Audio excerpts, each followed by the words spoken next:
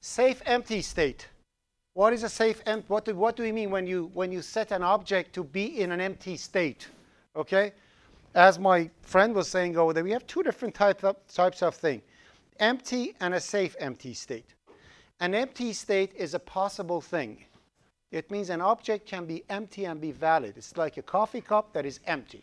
You still have a coffee cup, but it's empty. It's not a coffee cup that you cannot use, right? A safe empty state is an empty state in which a disabled object, an object that is impossible, will stay in.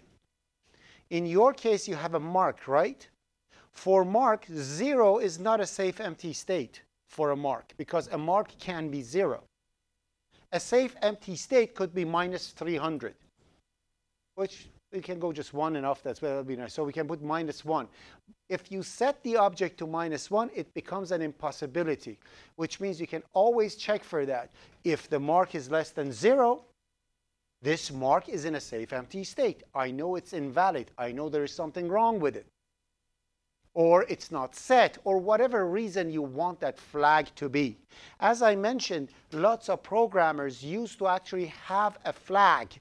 When, for example, let's say you want to have a container for a number, and that number can be negative and positive. Then how do you set an empty state for that? Because negative values are acceptable in that class. If that's the case, you can literally create a Boolean value, add to it, call it empty, or invalid or something and set it to true. And check that flag to see if your object is invalid or not. So not necessarily you use the properties of the class to set in it into a safe empty state. You only do that if the properties of class, they have an impossible state.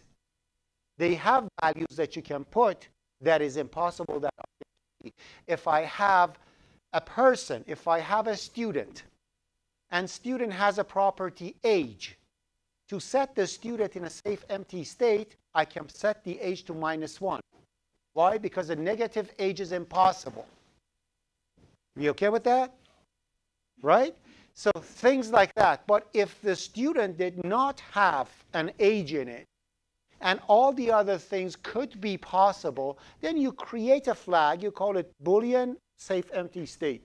If it's true, you're in safe empty state. If it's not, you're not. So you can do that too. But always try to find an impossible state in the thing and use that one for safe empty state. That was number one. That I was noted that lots of people don't understand the difference between them. Number two, flush keyboard, shame on you. You should be able to do it in two seconds. So let's not talk about that. You did it in IPC 144, okay? Just write a loop, one by one read the thing. If it's not new, stop. That's it. So if, if it's not new line, keep going. If it is, you stop. Flush keyboard, we have done it in IPC 144.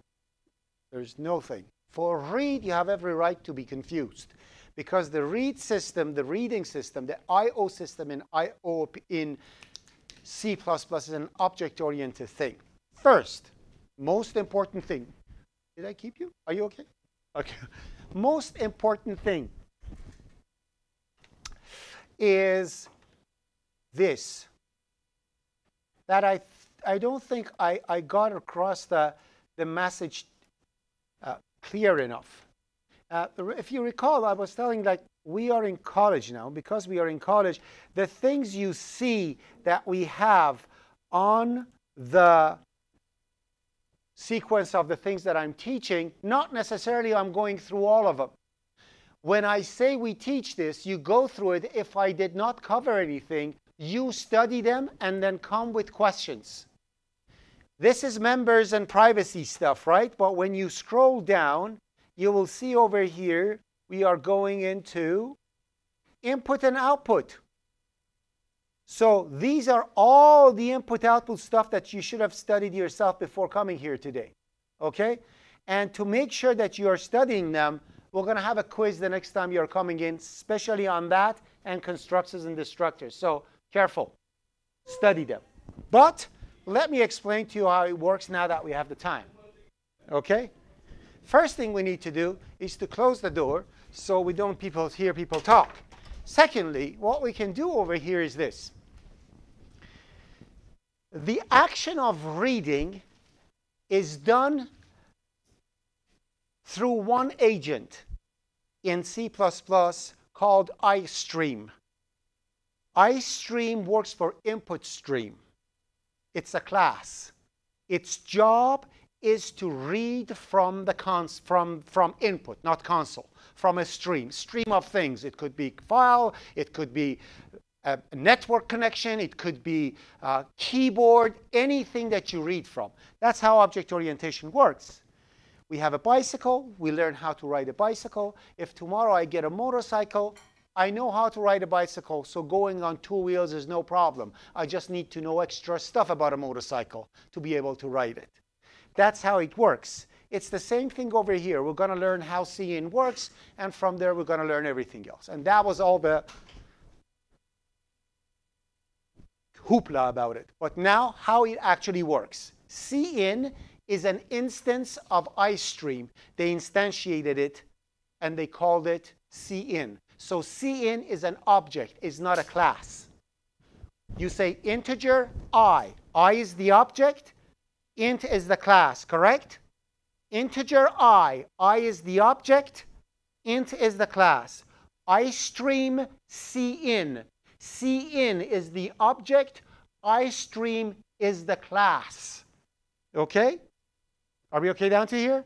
And we have the exact same thing for cout. C out is the object. They instantiated it. The class is ostream. Are we okay? Now, CIN is a very, very shy object. When I say shy, what does it mean? You tell it to read, and then you put something in front of it. It looks at that thing. For example, in here, I'm saying CIN mark. It looks at mark. Mark is double. Starts reading a double. Good. Goes through it. Life is beautiful you tell it, read m out of. That's an integer. It knows it has to read an integer. How? Overloading. You have done it. Okay? But the way it works is that it reads, reads, reads, reads, stops when it can't. So if I say 1, 2, 3, ABC, and tell to CIN read an integer, CIN will read 1, 2, 3, 123, and then it reaches to A, it can't read anymore, right? Did it read anything? Yes, it read 123. So this was success. It read an integer and stopped. Okay? If I say CIN, read a string, and I put 1, 2, 3, ABC, it's going to read 1, it's going to read 2, it's going to read 3. Is A a string? Yes. A, B, C, data is no more, it stops. So it was successful. It read 1, 2, 3, ABC into a string. So that's how it works, right? But if you tell to CIN, read an integer, and put ABC, what happens? CIN wants to read, comes to keyboard, it sees there is data, and then looks at it, says, I cannot read this. It's an A. They told me int. Int needs digits. I fail. It goes into a fail state. And as soon as it does, it won't answer to you anymore. Finished. Very shy thing. After that, anything else you tell to CIN to do, you say CIN ignore, I say, he says, I don't care. You say CIN get in something, he says, I, anything that you do with CIN, it will completely ignore it. As if you called an empty function. So if it cannot read the mark, ignore will not work out of will not work.